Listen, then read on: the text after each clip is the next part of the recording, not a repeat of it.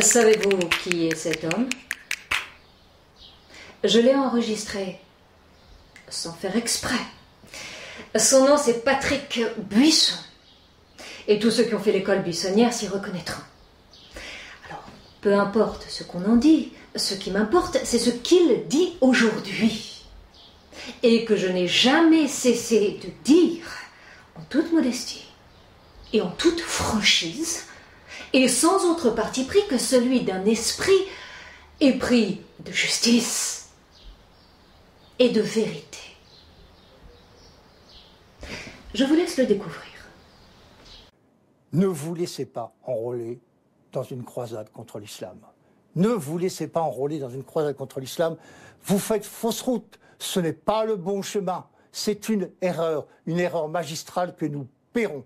Le problème, ce n'est pas tant l'islam que l'immigration. Il ne faut pas se tromper dans l'analyse. Ceux qui font l'analyse inverse, qui mettent la question de l'islam avant le problème de l'immigration, se trompent et ils seront responsables des grands malheurs qui pourraient arriver à la France dans les années qui viennent. L'islam, Apolline de Malherbe, n'est que le miroir de nos insuffisances et de nos démissions. L'islam nous renvoie à l'image de notre déclin et, j'ose le mot, de notre décadence. C'est ça qui nous est insupportable. Notre rapport à l'islam, il est lié au recul du sacré dans la société française. C'est comme ça. Euh, nous sommes une société où le sacré nous est totalement étranger. À quoi voulez-vous que les musulmans s'assimilent? Quelle valeur nous leur proposons? Avec ce genre de sorcier, nous avons envie de devenir apprentis pour apprendre à découvrir pourquoi notre monde est désenchanté. Et comment faire pour le réenchanter. Par exemple, en subordonnant le profane au sacré. Et non le contraire.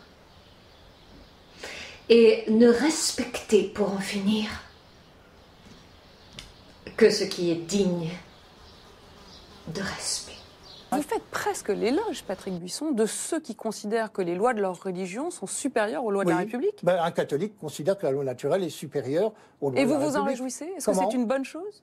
Ah, mais je considère que ça ne scandalise absolument pas qu'un qu'un croyant place la loi naturelle, la loi divine au-dessus de la loi de la République. J'ai plus de respect pour une femme voilée que pour une, Lolita en string de 13 ans. Ouais, j'ai plus de respect. J'ai plus de respect pour un musulman qui fait sa prière cinq fois par jour que pour les bobos écolos à trottinette. Euh, je considère que euh, en humanité, ce ne sont pas des êtres inférieurs. J'ai même plutôt tendance à considérer qu'ils sont supérieurs. Voilà.